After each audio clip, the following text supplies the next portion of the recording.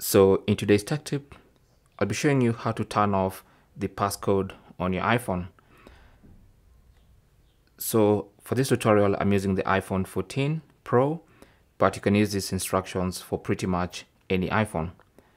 So what you need to do is, first of all, unlock your phone with your passcode or Face ID, and then go to settings.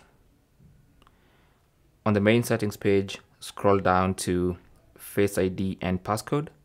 Tap on that and then enter your current passcode. And then once you enter your passcode, it's going to let you in to the Face ID and passcode settings. So here, scroll down until you get to turn off, turn passcode off. Tap on that. Then it's going to ask you if you're sure you want to turn off passcode. Tap on turn off of course, it's going to ask you to authenticate yourself uh, with your Apple ID password. So just give your Apple ID password there. And then once you enter your password, just tap on turn off in the top right corner.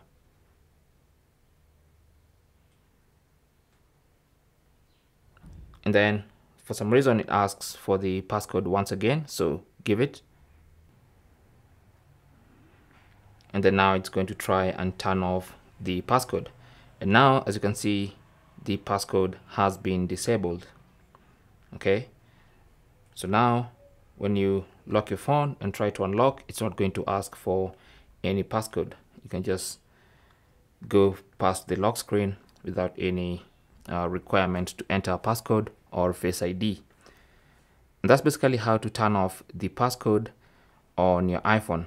Now just a note if you turn off the passcode, it's also going to turn off Face ID. So, so just so you know, the passcode and Face ID go hand in hand. So if you turn off the passcode, the Face ID also will not work, as you can see. Thanks for watching and good luck.